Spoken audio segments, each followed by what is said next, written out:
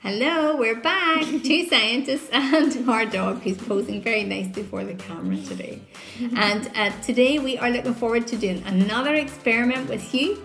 And we are hopefully going to have a lot of fun for this one. It's a new one that we haven't tried before. So um, it's called Elephant Toothpaste.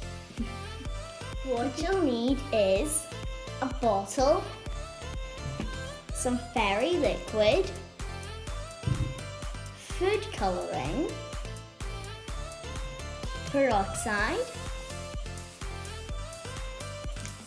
dried yeast, and a jug of water. Put the bottle on the tray and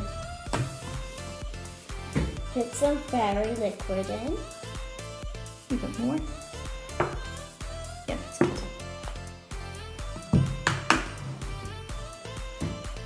And some food colouring. That's good, isn't that right? Yeah. Now for the next step, you need to get an adult to help with this one because peroxide is something you wouldn't want to get on your hands, it might sting. Okay, so we're going to use a funnel. This is a funnel, we're going to put it in and it means it will make it more easy for us to put the peroxide into the bottle. The bottle. Yeah, it's not going to spill everywhere. Okay, so. oh. There it goes. Next, carefully swirl it around. Next, put four tablespoons of water into a jar. One, two, Two, This is hot water. three, four. And then put the dried yeast into the water. Stir this around and leave it maybe for about 20 seconds or so to get it mixed really, really well. Before we add these two mixtures together, we're going to put on some safety glasses. Yeah? Yeah. Now we're going to add the two mixtures and see what happens.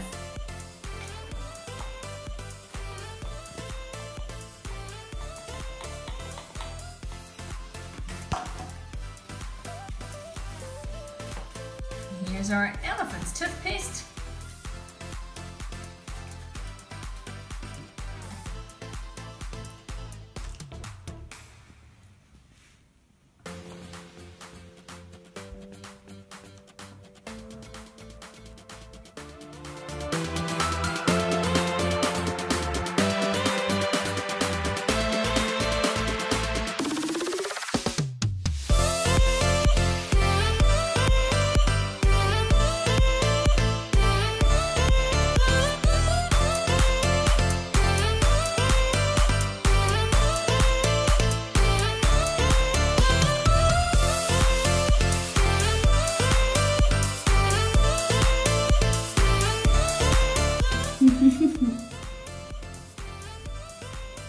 Looks like a big marshmallow.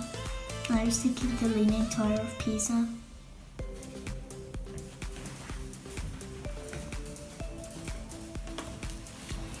Like a really slowly slow. so what we've been doing today, boys and girls, is we have been breaking up some molecules. The hydrogen peroxide, the, the chemical name for that is H2O2. And the O2 stands for oxygen. We use the yeast to break off the oxygen molecules. And by doing that, the oxygen molecules got trapped in the soap. You know the fairy liquid we used? It got trapped in the soap and that all bubbled up. And that's how we got a really, really fun reaction today for making elephant's toothpaste. It was good fun, wasn't it? Yeah.